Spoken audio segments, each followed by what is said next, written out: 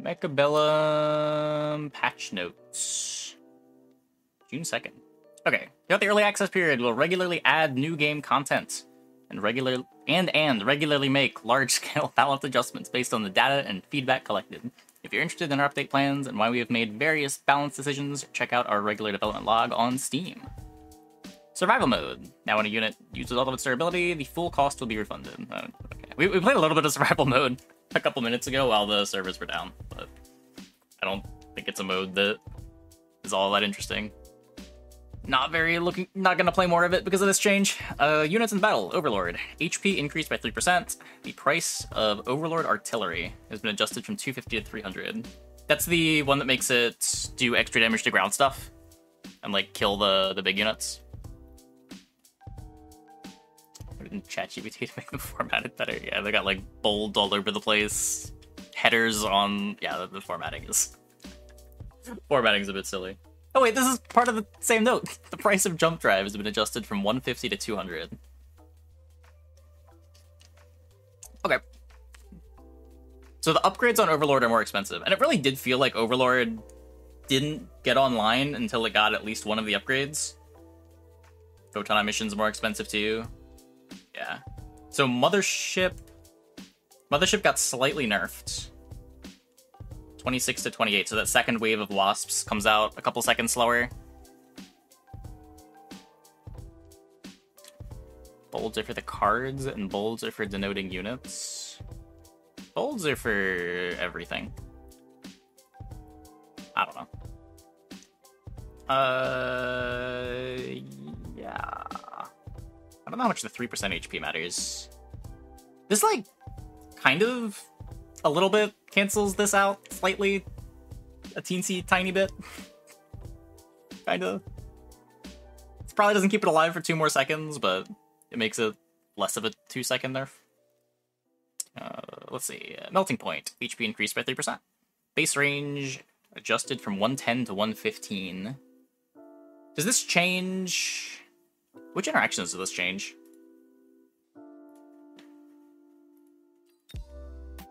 What has 110 range?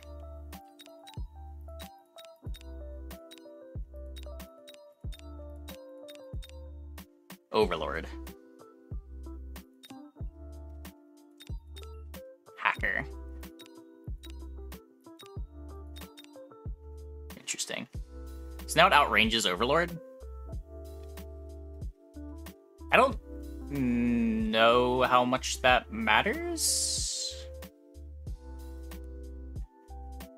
I feel like it's always about can you clear the stuff around the Overlord when it's Melting Point versus Overlord, rather than being worried about getting in range. But I guess it matters for like cross maps. When you both pop the tower, the Overlord has to crawl across the map, the Melting Point starts shooting sooner. And you start applying your damage faster, so maybe you win the race now. Melting Point's always been anti-Overlord, so it matters. I'm not saying it doesn't I'm saying I don't know how much it changes the interaction. Like, I don't know how often range is the reason Melting Point loses to Overlord. I think usually when Melting Point is losing to Overlord, it's because there was too much junk getting in the way.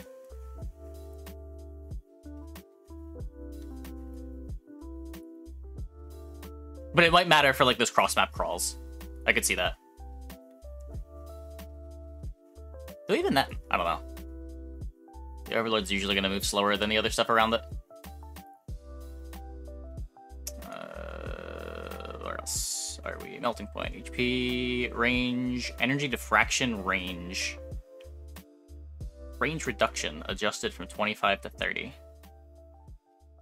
This is the target 5 things, right? So you lose more range if you want to get a multi-target.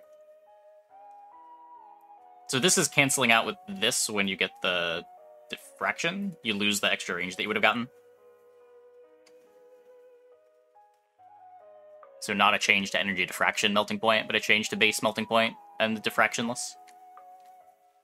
Rhino! Photon coating, price adjusted from 250 to 300. This makes it a lot harder to fit into things. I like this change a lot. Final Blitz more expensive too. Power armor more expensive too. And the Rhino attack slowdown. Good lord. Okay, that is a lot of nerfs to Rhino. That is... Whoa. uh... So before it was good tank and DPS when it got in. Now its damage is significantly worse. And getting it to tank is a lot more expensive. It no longer fits in as cleanly on turn 3 to go unlock Rhino, Photon coating, Rhino, Rhino.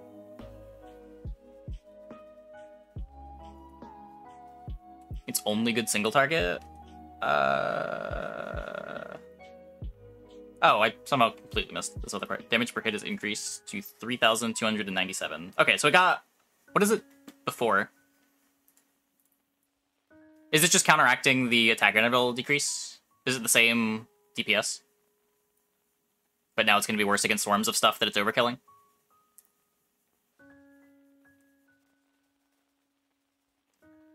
Okay, yeah. Interesting. Fortress. HP increased by 3%. Okay, so all the giant units get buffed. Improved Fortress. This card effect is adjusted to the HP of the fortress is increased by 50%, the attack is increased by 30, and move speed is increased by 3, but recruitment cost increased by 100. I don't know what this was before.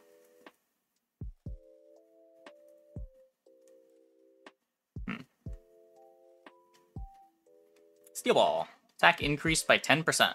Whoa. New technology. Heavy target. Decrease range by 10. When switching target, lock on priority given to the unit with the highest HP and range. Whoa, that's cool. Huh. Range? Hmm, but decreased range by 10. So it makes it a lot better at dealing with rhinos backed by a swarm of crawlers. But it still needs to get in range, and it's losing range. It goes to like 30 range, right?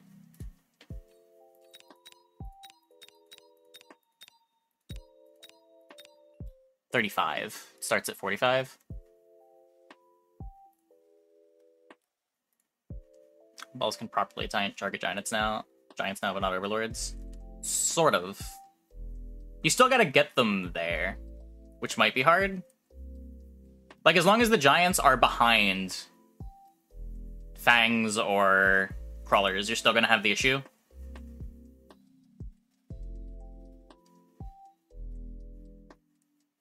I think this is just Rhino that it really matters for.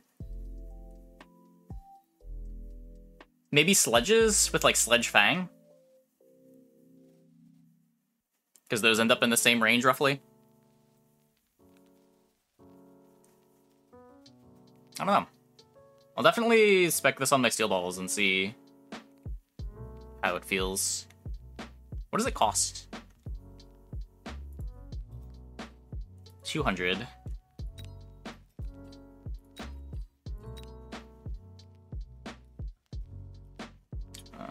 Extended range steel ball removed from the game. Wait. But it's not? What?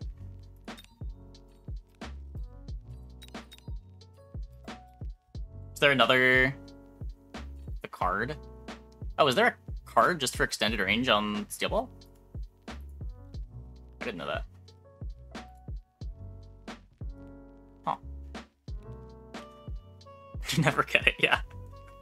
Just completely blanked it, I guess. Oh, I think I missed this. The effective improved steel ball adjusted to steel ball's attack increased by 50%, HP increased by 30, movement increased by 3, recruitment cost increased by 50. This increased the recruitment cost by 100 before, right? I don't know if the numbers elsewhere changed.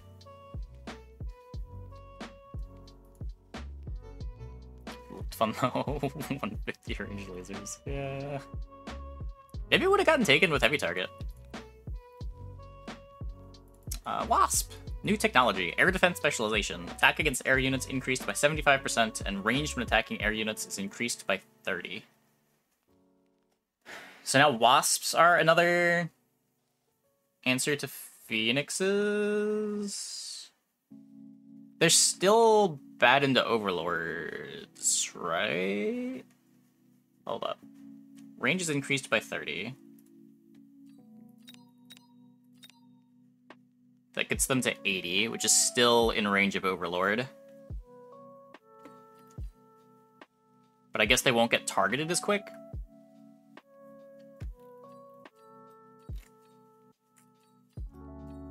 Huh. I should take that instead of range enhancement.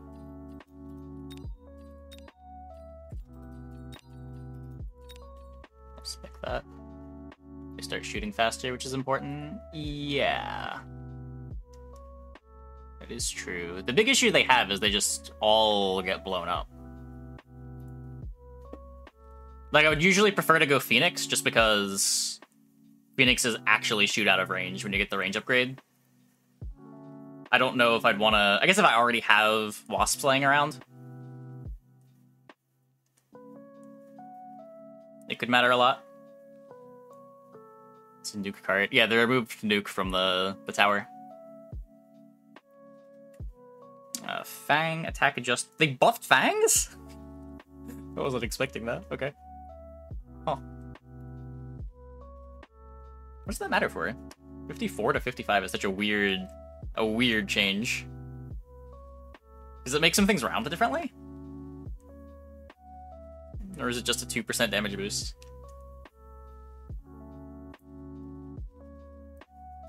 Does this like hit a breakpoint on killing crawlers? Crawlers have 261 HP. Uh, calc. 261 divided by 55 takes five shots. 261 divided by 54. Oh my god, I cannot, I cannot type. No, it's still four shots. Or five shots.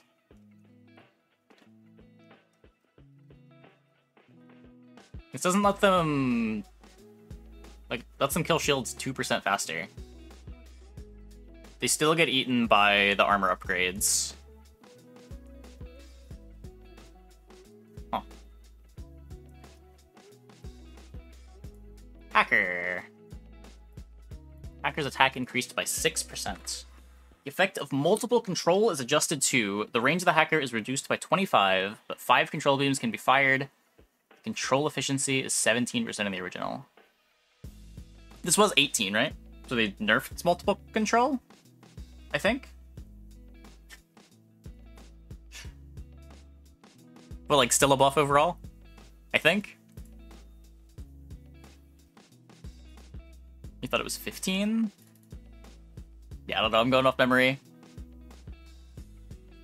The XP of destroying the core structure has been reduced to 100, which is the same as the experience value of killing a squad of crawlers. Okay, so this makes the turn 2 wasp flank a lot worse, because you don't get level 2 wasps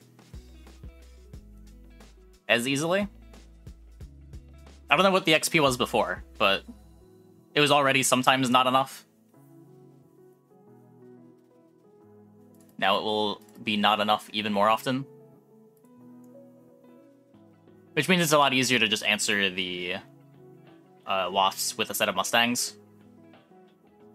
Rather than needing to like Mustang plus defense upgrade or Mustang and grab one of the Mustang upgrades. Adjusted duration of the paralyzed state after the core building is destroyed from 13 to 9 seconds. Okay. Huh. So rushing the tower, it's still really good to rush the tower early in the fight. But it matters a little bit less when there's fewer units remaining. Not immediately game over now. Well, it still kind of is, right? Like, if the tower gets popped while the main engagement is happening, you're still gonna die. But now if the tower gets popped and there's like some cross map stuff that needs to happen before the engagement happens again, it's more likely that the tower effect is going to wear off before the engagement happens.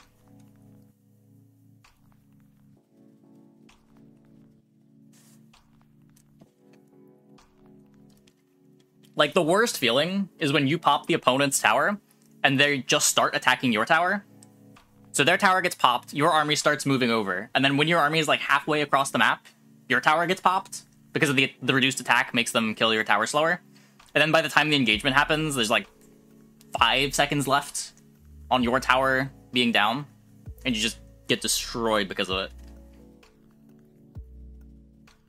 But theoretically, this will happen less now.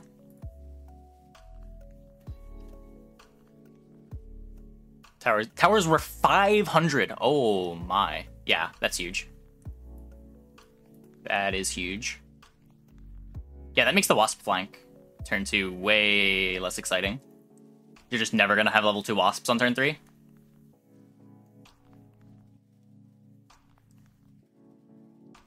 Uh,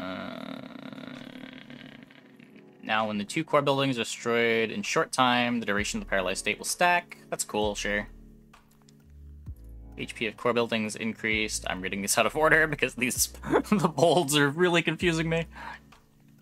Uh, nuke was removed from the research center and became a reinforcement card between rounds.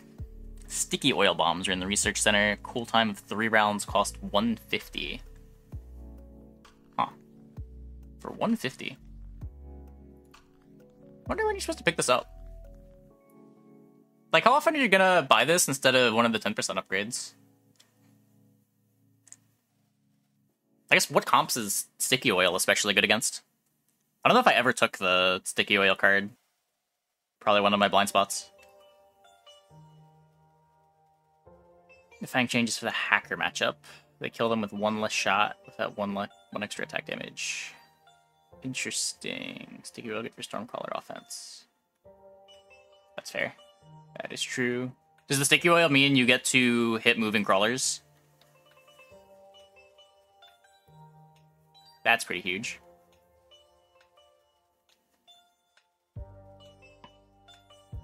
Fang changes for the hacker matchup. One less shot. That's. Hmm. But we're talking one less shot when the amount of shots needed to kill the hacker is like 50, right? And there's the shield to work through. Like, the reason why fangs are good, the hackers are good against fangs is in large part because of the shield. I don't know. Uh, where are we here? New starting specialist, heavy armor specialist. HP of all units increased by 17%. Three years, yeah. Interesting. Hey, Ladrian, thanks for the prime. Thanks for the 36. Welcome back. Adjusted the effect of Elite Specialist, obtained 50 extra supplies in the first round, able to immediately recruit level 2 units. Oh, interesting. I don't think I've ever taken Elite Specialist. I'm always so scared that the breakpoints are gonna screw me. Hmm. I'll try taking it.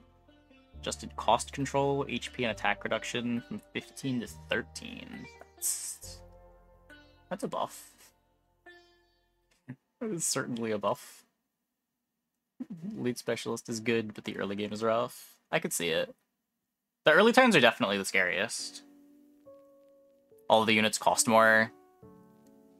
So like it's harder to stay flexible. Uh, starting specialist HP adjustments. Oh, hey, this one's bolded correctly. Supply specialist health bonus adjusted from 0 to minus 300. Cool. Air specialist health bonus adjusted from 400 to 300. Rhino specialist 200 to minus 400. Fair. Cost control 0 to 200. It's another buff to cost control. Okay. Starting units, adjusted player health bonuses for most starting units based on the latest win rate stats. Wait, oh, is that just summarizing this? Okay. Lightning Storm priced to 350. Air Specialists no longer appear in reinforcement cards between rounds. Okay. I've taken it like once or twice, but Yeah, I don't know. I also start the game on Air Specialist a lot.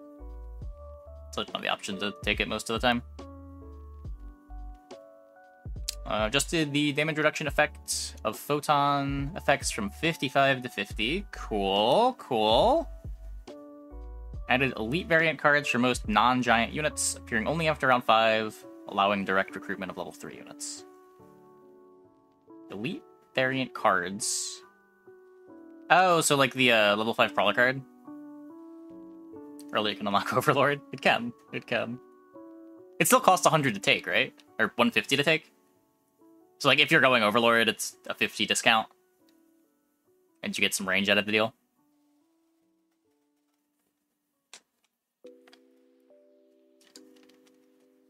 Other slightly optimized performance of the unit transformation scene. Both automatch and tournaments have spectator delay enabled by default.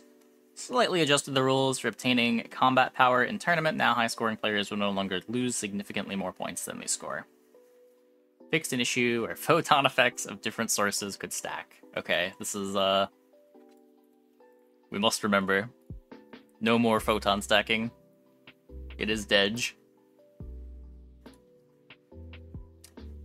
And those are the patch notes. So what were the big winners? Hacker's kind of a big winner. 6% is a bigger buff than most things got. As small as it sounds. It like kind of adds up when you have multiple hackers going too. Um, oh, Melting Point got marginally better against Overlord. One of the issues that I had with going Melting Point against Overlords is when melt when the uh, Overlord player gets Mothership, the Wasp serve is a really good distraction from the Melting Point damage. I don't know if the range changes that interaction much. Yeah, rhinos are the biggest loser. rhinos. I'm not gonna say rhinos are bad now, but they are no longer what they were. Poor guy.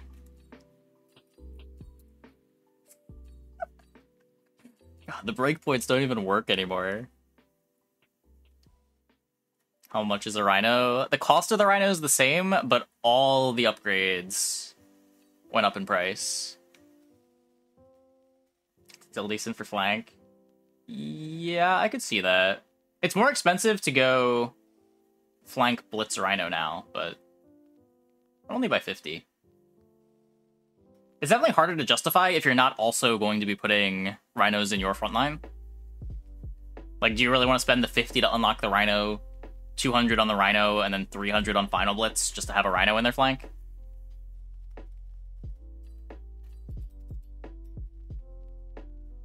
I don't know. Free round if you catch him off guard or the random Rhino. Yeah. Sorta. Definitely interested in seeing how this has you line up. Very expensive for a free round. Well, if you're just going for the free round, it's 250. It's just unlock the Rhino, plop down the Rhino. You don't need the Explodey until they try to counter it. And then you're taking Explodey to trade with whatever they threw down. So like they throw down Steel Balls, you throw down the Explosion, and you paid 300 to trade with their 200. Which doesn't sound very good, now that I say it out loud. But like, maybe you... Ah, the Wasp Plank just seems so much worse now. Kind of cost of the mobile beacon. Yeah, yeah, if you need to buy the mobile beacon too. I think if you're doing it early, it's you hopefully don't need the mobile beacon. They just like leave a line for you. Heavy target's a sick upgrade. I hope. I hope it's a sick upgrade.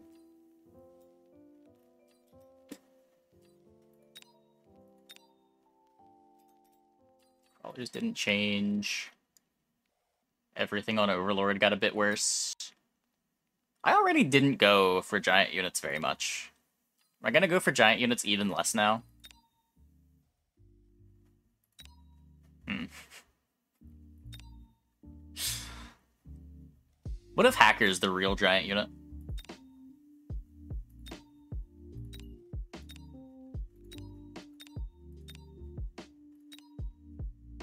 Okay, well, I'm gonna take a quick break. I'll be back in like two minutes. When we get back, we will jam some ladder on the new patch.